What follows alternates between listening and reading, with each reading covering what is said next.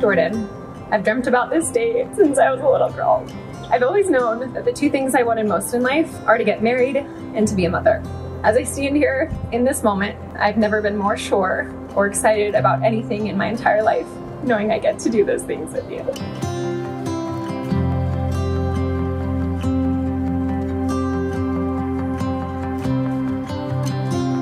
Sam, you are the joy of my life and the woman of my dreams. I'm so proud to stand beside you today.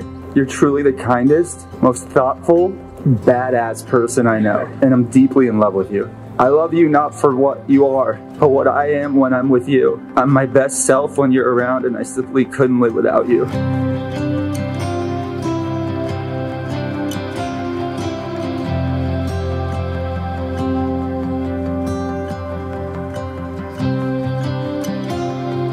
The power vested in me by the state of Arizona, I hereby pronounce you husband and wife.